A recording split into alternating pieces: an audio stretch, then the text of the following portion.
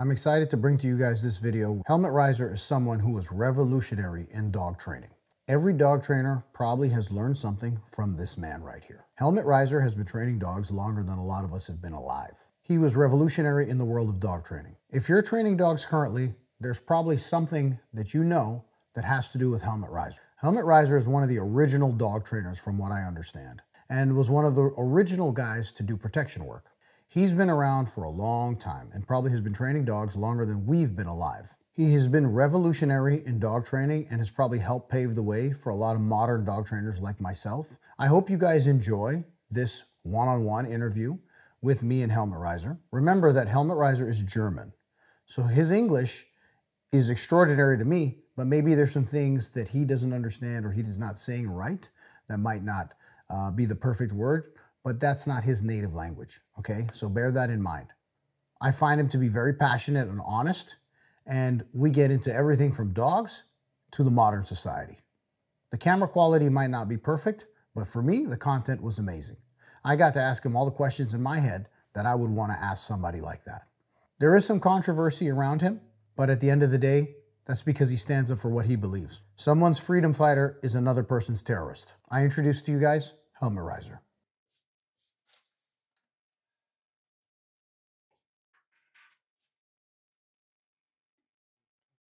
Thank you and honor to meet you in person. Um, I've read your book, and I know you're one of the main guys who's taught Schutzhund, and probably a lot of trainers right now don't even know that they follow a lot of your principles. Um, I'm sure when your book was written, when what year was that book written? 79. Okay, so from so from 79, I'm sure so many trainers are using a lot of your principles and don't even know where those principles came from or who taught those principles, right? So I would I'm I'm honored to see you in person and I'm really honored for you to invite me into your home so that I can do this interview and maybe help people in dog sports and um, even for myself, this is like a dream to be able to speak to someone like you. So um, let's get this interview started. I hope it goes good and hope you don't kill me by the end of it. No, no, it's okay. So, what would be your perfect dog, character wise, um, temperament wise, built wise? Hmm, this is something uh, what I'm not looking for because uh, every dog has a talent. You know, uh, Mr. Ste uh, Stephanitz, the founder of the German Shepherds. It's in my questions, yes. And um, he says um, to, to um, see the talents of a dog and use them uh, is the most important thing. And this is uh, how I uh, contact a dog. Of course, the dog, you know the colors of our RSV 2000? I, I went through them. Yeah, we have we have green, gray, blue, and red, mm -hmm. and orange, of course. Okay. So, green is prey behavior. Mm -hmm. So what you need in the in the work with the dog is uh, the prey with a with the booty or the biting yeah, uh, and the calm grip and the attack. These are prey actions. Then you have gray, which is aggression. Mm -hmm. You have to separate between uh, defense and uh, active part. Mm -hmm. yeah? And you have blue, which is um, adaptive behavior. In the past, I said it was avoidance, but it's not avoidance. It's clever adaptive behavior how the dog can solve conflicts. Yeah? Okay. And um, the perfect dog is a dog who has uh, in these three uh, drives uh, good talents. He needs the green for motivation. Whatever you teach a dog um, in our Schutzhund sport is never his drive aim. It's always frustration. Okay. And uh, the technique you teach him is always hitting the dog right in the face, yeah, okay. middle in the face. And we make the deal: if you do the shit, what brings me the points, you get your drive aim. Mm -hmm. And there is the prey, the green, um, the most important thing, because you can make the deal: if you do what I want, you get your prey. Mm -hmm. Yeah, can be food, can be a ball, can be something to bite. That's all green. Mm -hmm. Okay, and then you need, of course, um, a smart dog, which is clever to adapt to conflict situations to learn how to deal with this and how to be successful. Yeah? And this adaptive behavior can be avoidance and run away from this conflict. Yeah, can be uh, uh, adaptive behavior to the person and uh, uh submissive behavior, obedient behavior. This is all blue. We we went away from the uh, from the description of the behavior and we put it in colors. And this makes dog sports so easy. And you can teach it. So, and then we have uh, green, blue, and gray. Gray, for example, uh, is um, aggression. And um, you see, uh, Lorenz Freud said there are four motivations we have hunger, flight, love, and aggression. So, hunger, we put on green, mm-hmm. prey. uh, hunger, flight, we put on blue, go away from conflicts and make sure that your hardware doesn't be isn't be destroyed. Mm-hmm. And red, of course, is for reproduction, sex. Mm-hmm. Yeah, we don't do this in the um, uh, in the training, but of course in the breeding, mm -hmm. uh, we need dogs which good power, which are healthy and bring good dogs, and um, hunger, flight, love, and aggression is something special because all these three they need a drive aim. You see, mm -hmm. the prey, dog is hungry, wolf is hungry, gets a rabbit, eats it and is satisfied. Yeah? And uh, if there is an enemy and the dog uh, goes away from this conflict and has his calmness again, is satisfied. With the sex, when the mating is done, they are satisfied. Different, it's with aggression. Aggression never has a drive aim. Aggression is there if the resources, the first three resources, are not available. Okay. Then you have to put energy in it. Yeah? And this comes from gray. And therefore, the aggression is a very most important part of an animal uh, to survive in nature. Okay. And uh, this is something which uh, makes a special character.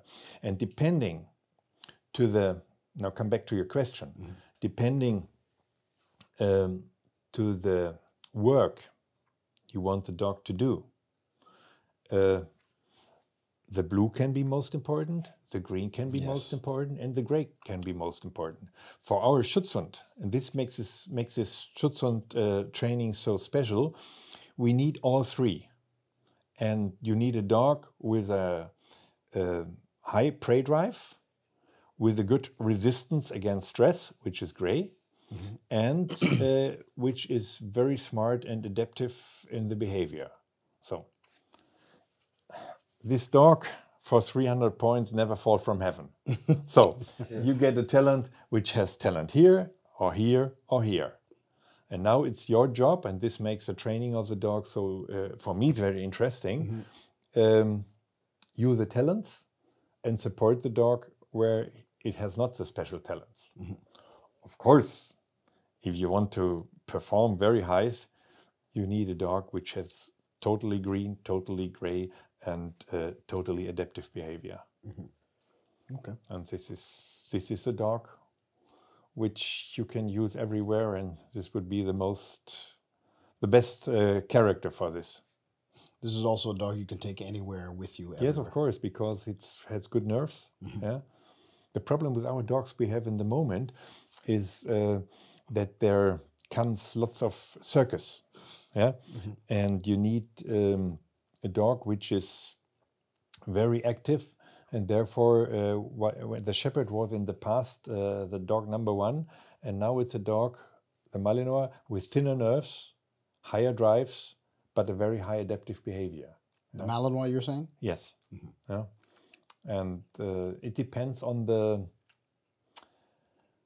uh, validation of the test what if you if you have different tests you need different dogs or different characters what do you classify as a dog with good nerve what describes a dog with good nerve well the good nerves are uh, uh, mostly um, combined with a threshold.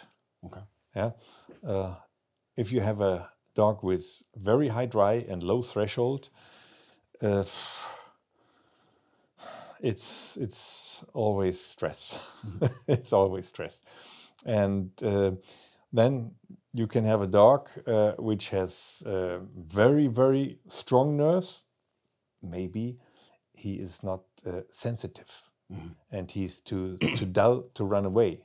Yeah, and this is also not uh, the dog uh, what you can use and what you you like to have. Of course, if it's a pet for a house who just has to lay down, it's good if he's sleeping all the time, but it's not good for the work. Yeah, for the work, you need a dog uh, with a high drive but strong nerves, which is not always um, uh, in hectic when there comes an attraction.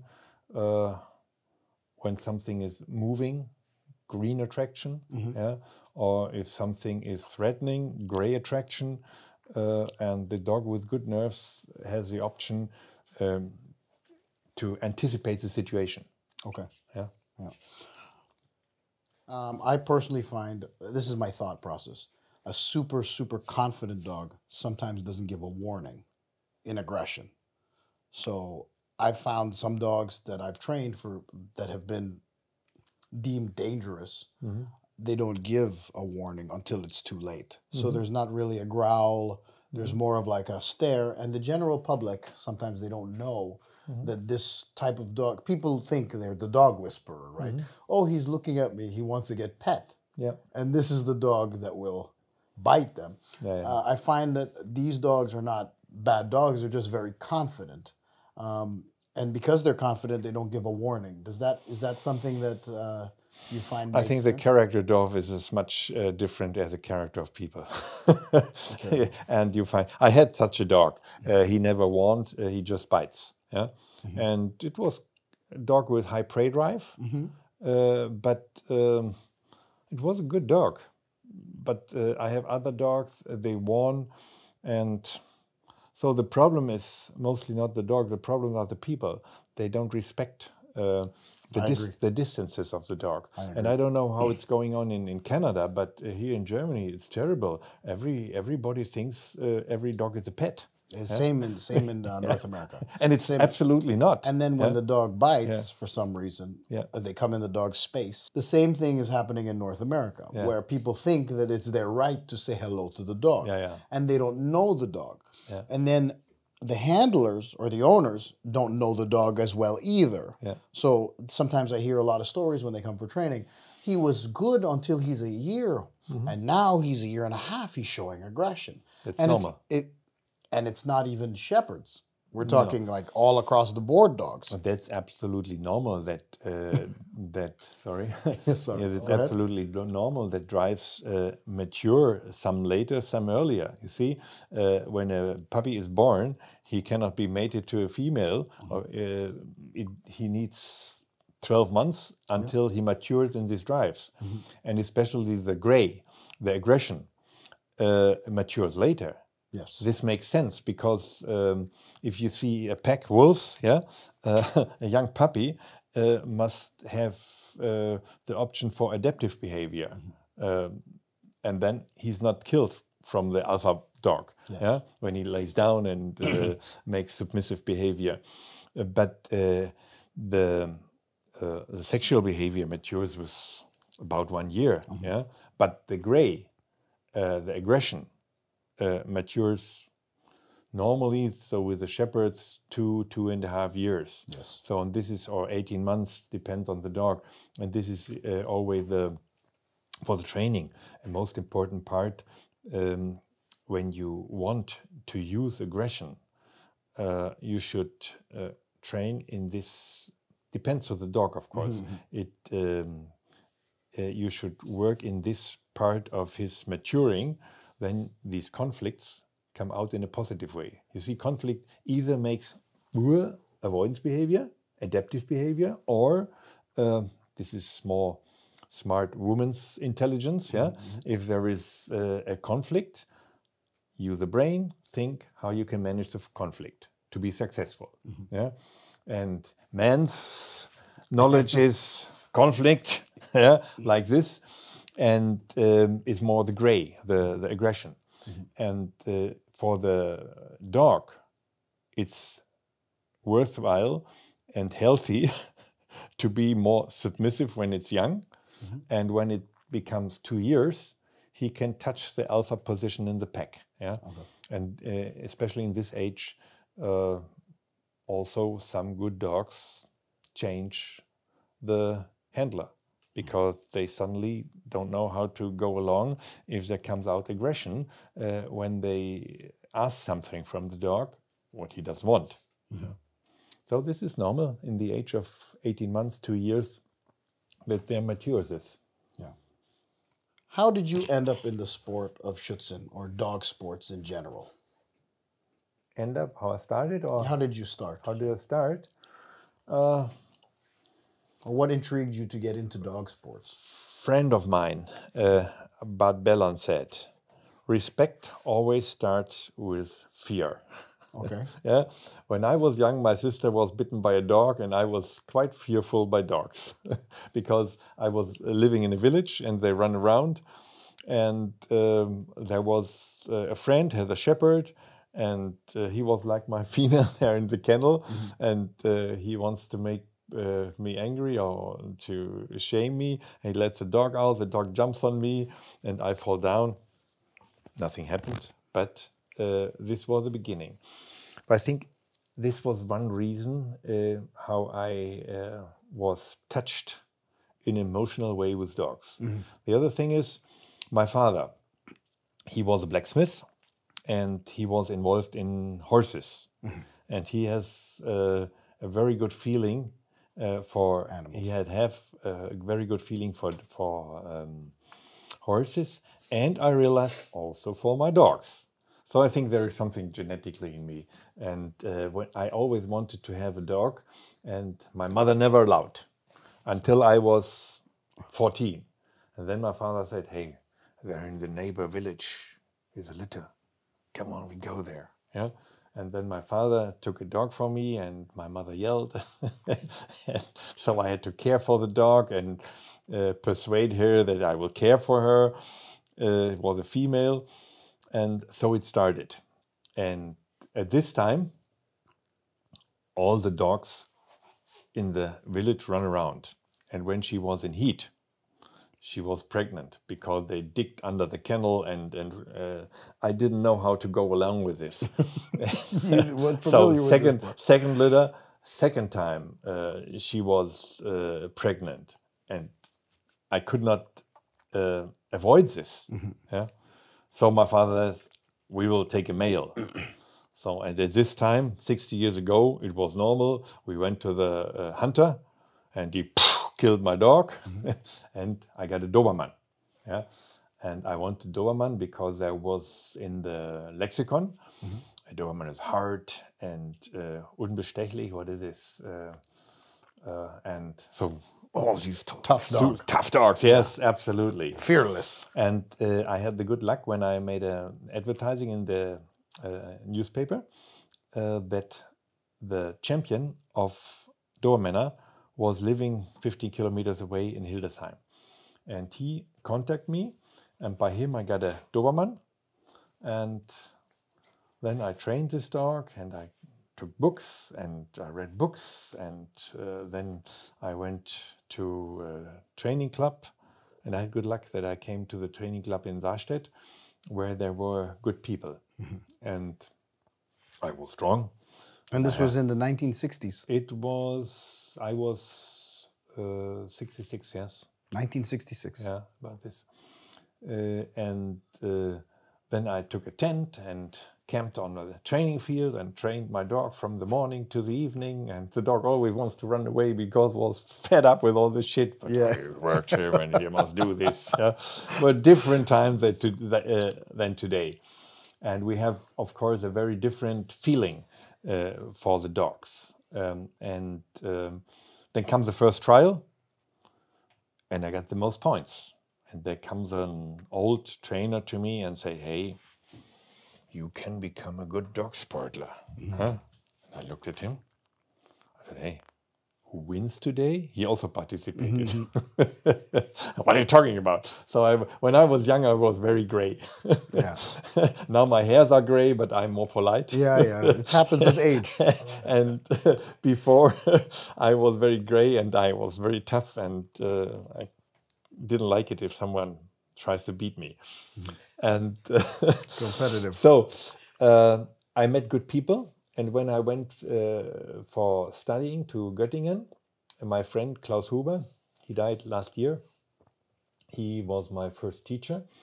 Uh, he introduced me here in Göttingen uh, to Günter Wasserhausen and Wolfgang Bechtold. These were my uh, best friends at this time. And as I was strong, I was a helper all the time. And I have learned a lot in uh, my first club in Sarstedt. And when we came here, they had a shepherd, very new, four years old, and they couldn't handle this dog. And this dog was only the kettle, and they give food with a stick, and uh, so and nobody can bring this dog for barking. I said, hey, hey, hey, every dog barks. and then they laughed, hey, you can work the dog. So I went there, and they, at this time we had a box with stones, and then the dog came, and I was quick, bam, bam, bam, bam. I said, Wah! and I gave him a bite. And said, what's the problem? And now I was a helper in this area. Yes. and uh, so we had not the knowledge what we have now. But in Kassel, there was Bernhard Mennel, an old um, dog handler, very smart, and he was the first who created the terms prey drive and defense drive. Oh, yeah. Yeah, and the the problem was before a dog only has to bite, and in sixty something, I think it was sixty four or so, uh, they changed the rules that the dog has to bark on the blind. So how do you do this if you have no knowledge? Frustration. Yeah. Yeah, but you Yeah, do you know. try to beat the dog and you kick them away, uh, and with brutal things at the end. Uh, and the strong dogs became stronger and stronger by this conflict, and the weak dogs. this was a good selection for strong dogs. Yes, I agree. I agree. but uh, it's not not today's standard. compatible to the uh, to the sensitivity of a, population nowadays Yes, of, of the, 100%. what we have nowadays. yeah? Hundred percent. So it happened to me that we had very strong dogs in this club, and I had to clean them. And what we did with with, with sticks and with uh, chains, we beat on the dog, and uh, we were quite successful, uh, but it didn't work, and the strong became always stronger. Now I nowadays I know why. So, and latestly, when I broke a canine of a dog with a chain, I said, "Hey, It's not for you. this is shit what we do. Yeah. Uh, if we make a training uh, which destroys the dog, It's not training. it's it's something I, I don't I don't like I like this and I don't want to do. So uh, at this time there was Bernard Mennel and he says if you want to make the dog barking when he barks you have to give him a bite a reward. And I was one of his pupils and uh, so I was full this good message and I trained this dog. I wrote this book. Maybe you read it. I read it. And Der- everybody read it. Der Schütze. And it went like a fire through the whole world. And um, I did many seminars, and um, well, we created uh, the new style of dog sport at this time. The grandfather, uh, the, the, the pioneer was Bernard Mennel. Then there were Fritz Bieler, uh, Günter Wasshausen, and Klaus Huber. They were the first pupils, and I were the next one. Yeah, and uh, so we spread this message all over the world. And it was funny in our club in. There we discussed every morning up to in, on Thursday we have always our training group, and when we were sitting three o'clock, four o'clock in the morning, uh, and struggling for the truth in the dog sport, and uh, we fight in a positive way. Yeah, and always in the morning, eight o'clock, I was in the university and uh, kept my eyes open and learned medicine. yeah. but in the last row, not in the first row. and uh, it was a it was a funny time. It was a funny time, and um, by and we did lots of trial and error A lot of critical Yeah. thinking. and it took years 10 years 20 years uh, and it never stopped that we get new knowledge and for me interesting were people who came and learned they were as good as we were in two years where we needed 10 20 years for this and smart people uh, came and they are they are now at the top of the world everywhere Yeah. and um so this was a good time. And nowadays it changed a lot. Um, you see always the balance is the most important part. We came from here. No knowledge brutal work with dogs. Yes. yeah? Then uh, we come uh, to a work which was very successful. And nowadays everything is happy happy happy circus and there are big mistakes in this um, development I agree. I think we lose the reliability of the dog. yes Um, And yes, you can do a lot with positive reinforcement, but to have actual reliability in a situation, I feel that there needs to be some form of punishment or reinforcement. we we talk about three levels of learning yeah the first is you must show the aim and this is plan a i call it. It's positive reinforcement and once and always. Mm-hmm. That the dog gets an idea this behavior brings success brings drive aim yeah? Mm-hmm. So then you can speed up the behavior and make it keep going with intermittent reinforcement, which is Las Vegas. yeah. The hope, the hope, the hope. Yep, You win. yep, yep. yeah. Uh, creates more and more intensity. Yeah. And uh, makes your brain. Variable reward system. Yeah, yeah. Uh, intermittent reinforcement, and uh, this makes it good, good keep going. And um if you make it smart, uh, you create more drive. Yeah. But the truth, the truth in the work with a dog, is a compulsion. Yeah. And uh, this decides hop or top. Yeah. And um, the secret for all of this is your communication. I, Yeah. If the dog understands you hit with a compulsion the point and the dog speeds up in the work. Yeah. If the dog doesn't understand, it's conflict. and conflict make two uh, decisions. One is if the dog has good nerves, kill me, I don't understand, I accept it. Yeah, and the drive is shit. So the other option is you have a dog with much drive and lower nerves, and then he becomes hyperactive, hyperactive, up, and then he bites you. And when he realizes that biting stops all this shit, yeah, then he knows how to go out of these conflicts. and uh, this is classical conditioning. Classical conditioning generalizes at once. One try, it works. It's different to the instrumental conditioning, uh, where you uh, teach techniques and uh, behavior. Uh, this is something uh, generalizing is a is a longer uh, repetition. Yeah? But uh, the classical conditioning, how go how you uh, how to use the drives, the dog learns very quick. Yeah? And this is uh, what can happen uh, when you have no good communication, no good understanding, uh, you destroy the dog, either this way or this way. Yeah? Either the dry goes uh, shit or the technique goes shit. Yeah? But um, if you have a good communication, then you can hit the point if you have some sensi- sensitivity with the compulsion. Yeah?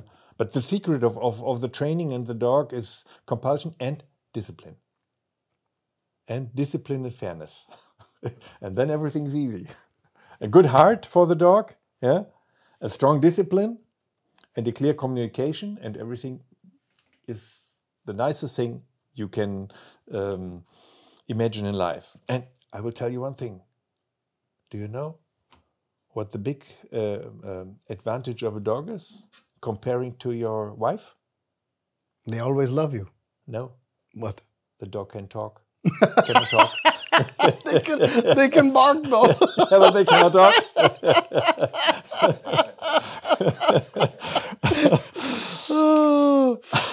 okay. Well, I always I always tell people that your timing is mm-hmm. impeccable because the communication has to be very clear. Yeah. Um, if your timing is off, mm-hmm. then it's unsureness in the dog's head, mm-hmm. and if he doesn't know what's going on, then how? Like say for marking, if you're marking a behavior, the timing has to be on, or he's confused. Yeah. Um, I always tell people this, but it's nice that I get reassured from somebody who's been in the dog sport since Yeah. A long time. there, there is another very important thing I always uh, tell in my seminars. Um, these uh, plan A, plan B, plan C, going through the learning uh, um, um, phases is important. Then the timing is one of the most important thing. If you want to combine something, put it in between uh, 0.1 to 0.5 seconds. And um, if you want to separate, make a braid, break, free the body for five seconds, and the dog learns it's not the body language which makes the action, it's something else. And Pavlov, Yeah. first the command, then the body. First the uh, command, and then uh, the action. Yeah, and this is something what goes wrong in the whole uh, dog sport. People have activity with the body instead of a frozen body, and uh, then the dog focus, of course, always The on body the language body first. totally- because uh, uh, blah blah blah blah blah. He only realized tick tick tick tick tick tick tick, but no words. So if you want to teach a word, yeah, you have to obey Pavlov. First the word, then the body. Yeah, first the uh, bell and then the food. Yeah, and this is something what goes always wrong. So if you have this tool as a handler, that you can freeze your body, give the command, and make the body work the dog, uh, then the dog learns very quick. Yeah. Very simple rules. Just a handful of rules you have to obey, and, and you can go along very nice with the dog. You got to be good at those rules, basic rules. Yeah. Is there any other dog sport you're interested in, or is there any other dog sport you've been into? No. Okay, that was quick. Hold on.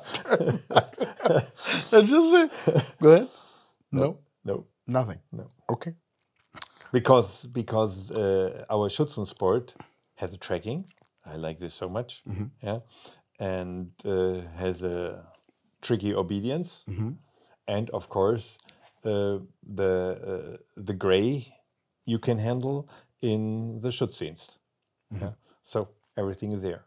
What were the dogs like back then? Say the German Shepherd back then, the Doberman, the Rottweiler back then, versus what they are like now. different answer to different races. Yeah. Um, if you talk to the Doberman, this was once a dog which was very nice and with good character and good abilities. And then they bred it in a way for conformation. And nowadays, the whole race is dead. Yeah. Uh, they have heart problems, they have healthy problems, uh, they have uh, mental problems. Uh, so if breed goes uh, wrong ways, wrong way is wrong selection and too much inbreeding. Yeah. If you lose the wideness of the genetic pool, you get all the shit in breeding, which is uh, less uh, fertilization, which is uh, weaker nerves, which is less healthiness uh, and less fitness. Yeah. And the, do- the Doberman, by the breeding they have done in the last uh, 20, 30 years, um, is nearly gone. Yeah. Here and there you find sometimes uh, a Doberman who is quite good, but they die also early.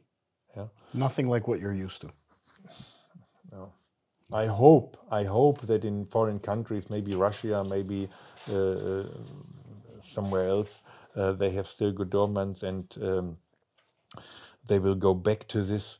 But uh, it's always uh, from the politics. Yeah.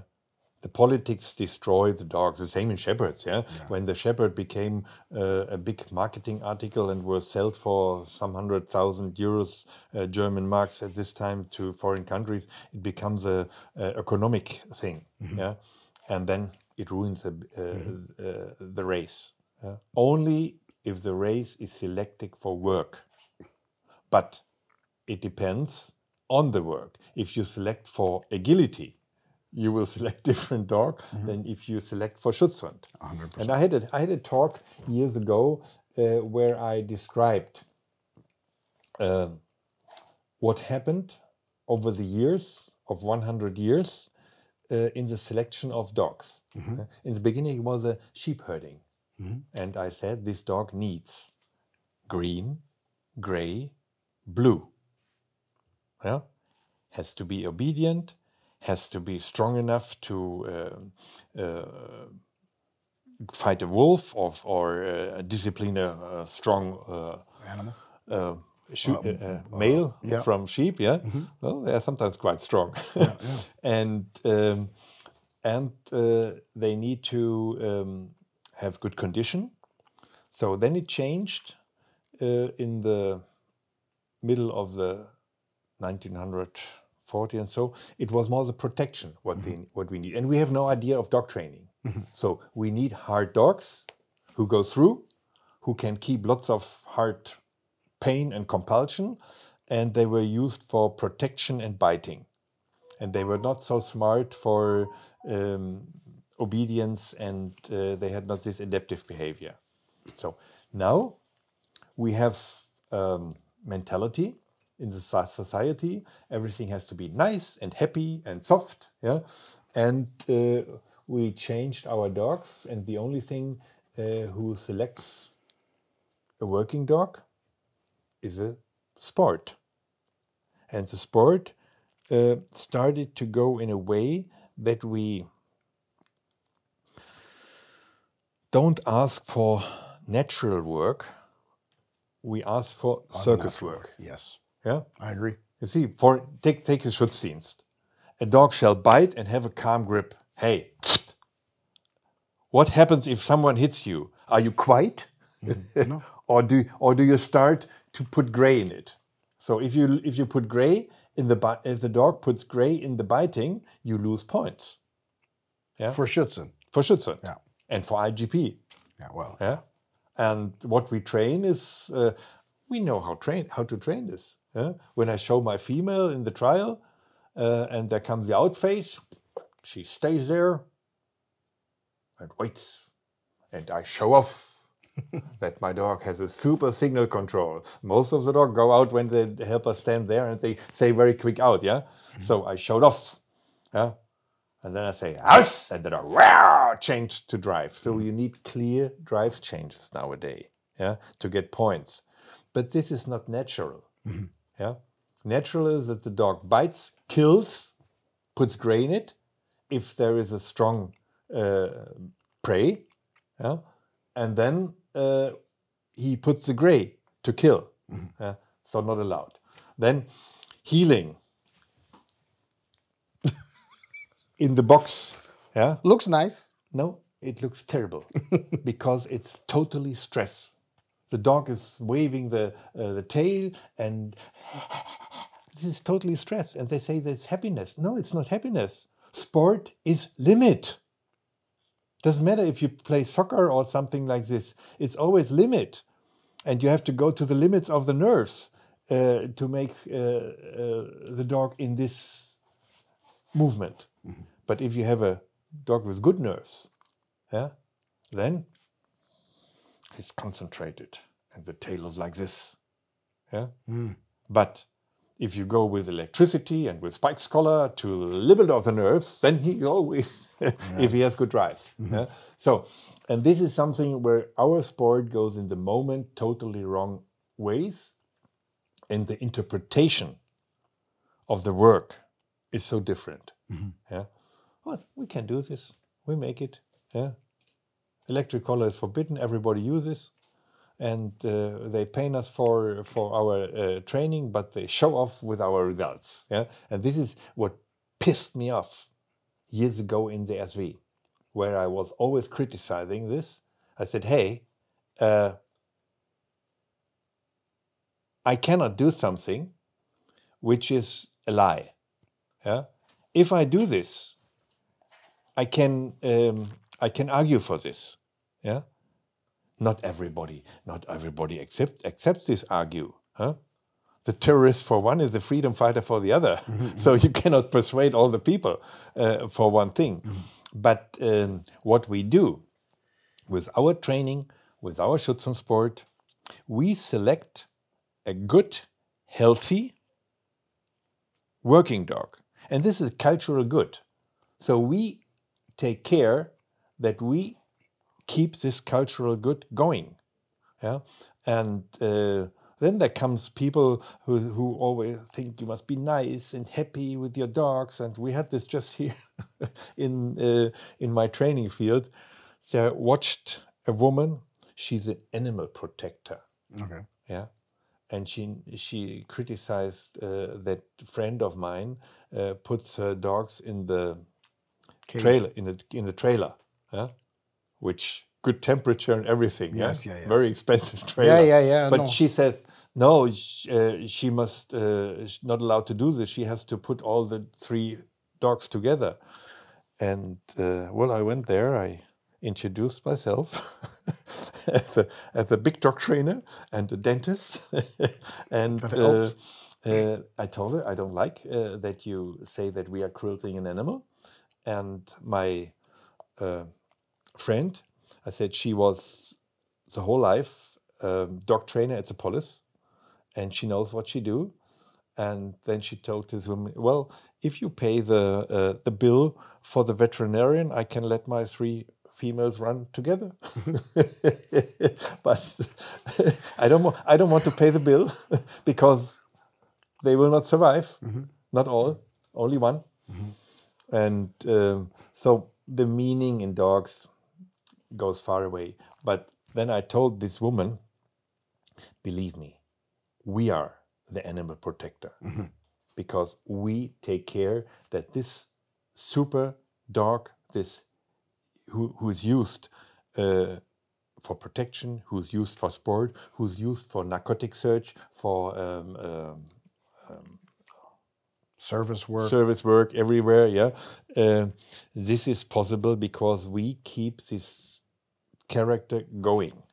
Yeah, and if we don't do this, uh, you have only pets at home, huh? and you miss cultural good. So the interest is different. this is a big problem. No, it's no problem. You have to fight for your your interests. Yeah. It's becoming hard. No, look at look at look at the politics nowadays. Yeah, they make with with you what they want, and uh, if we don't uh, stand up and say we don't want this, they try to rule you, Yeah. Okay. and it's amazing. It's amazing because uh, we thought we live in a democratic uh, state, yeah, and they do the same, like the uh, uh, same fascism than in uh, other states, yeah, where they argue with, but they do with us. Uh, they take away our ri- rights. They take away our healthiness. Uh, they have to. Uh, they want to uh, tell us how we have to deal with my body. they tell me, yeah? and they are not medicine people. They are politicals. This is this is going to Corona Yeah. now. Uh, yeah, yeah, yeah. This is everywhere. I guess same. we all in the same boat here. uh, yeah, it you, like. you think different in dogs than these PETA people or the uh, animal protectors. Uh, uh, everybody thinks he has a right, yeah, and there's no tolerance. Why not? I don't care if someone uh, uh, treats with his dog in a different way, but if they don't understand what uh, we do, they should not argue. I see. Come to me in my practice, look at me.